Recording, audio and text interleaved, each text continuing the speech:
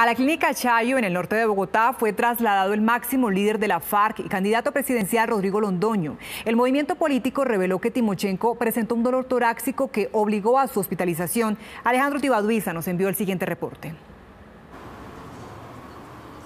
Buenas noches, pues hace algunos minutos la Fundación Clínica Chayo ha emitido un breve parte médico acerca de la situación de salud de Rodrigo Londoño Echeverri. Timochenko, el candidato presidencial de la FARC, ha señalado que se encuentra en la unidad de cuidados coronarios, que posteriormente se le practicarán algunos estudios complementarios y también está bajo pronóstico estable. Hacia el mediodía, él fue trasladado al Hospital San Rafael de Fusagasugá y hacia las 5 de la tarde llegó aquí a la Fundación Clínica Hay que recordar que hace tres años, cuando se encontraba en los diálogos de paz en Cuba, tuvo algunos quebrantos de salud de tipo coronario y esto podría ser efecto justamente de ese padecimiento. Estaremos muy atentos a la evolución de salud del candidato de la FARC.